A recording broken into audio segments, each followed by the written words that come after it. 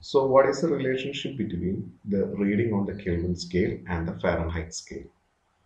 For that, let's take the ice point of Kelvin scale. We have ice point, ice point. Let's represent that as IP, IP. Ice point of Kelvin is actually 273.15 Kelvin, IP. And its steam point, steam point. Let's call that as SP steam point. We have steam point of Kelvin equal to 373.15 Kelvin.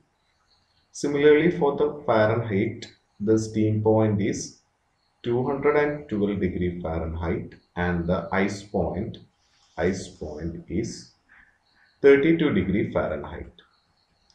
Suppose we have a temperature K Kelvin is equal to F Fahrenheit, then we can always relate using the relation we already discussed that is K minus ice point of Kelvin scale by steam point of Kelvin scale minus ice point of Kelvin scale is equal to that is K minus this one by upper temperature minus lower temperature for Kelvin equal to F minus IP that is ice point of Fahrenheit divided by steam point of Fahrenheit minus ice point of Fahrenheit.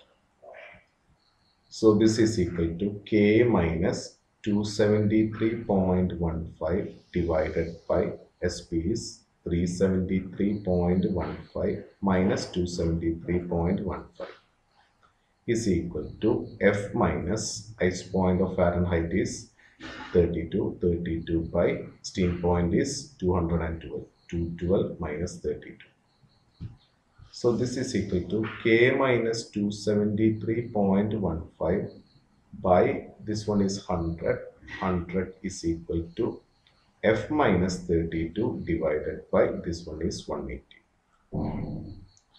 so you can simplify this as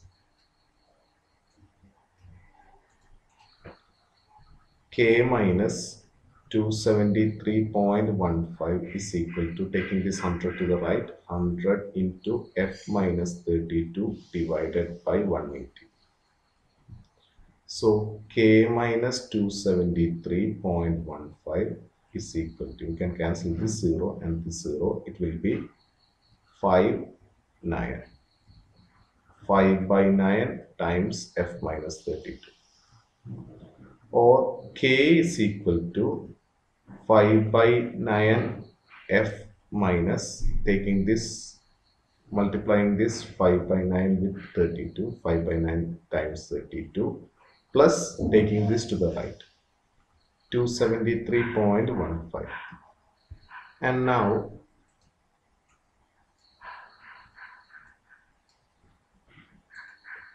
5 into 32 is 160 160 divided by 9 is actually 17.78 so k k is equal to k is equal to 5 by 9 f minus this one is 17.78 plus 273.15 so this is equal to 273.15 so k is equal to 5 by 9 f plus this value the answer of this one is 2 255.37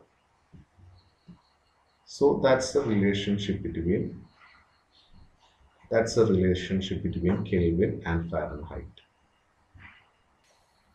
Also also we have 5 by 9 f is equal to taking this to the left which is equal to k minus 255.37 so f is equal to uh, 9 by 5 taking this one to the right k minus 255.37 therefore F is equal to 9 by 5K minus 9 into 255.37 divided by 5.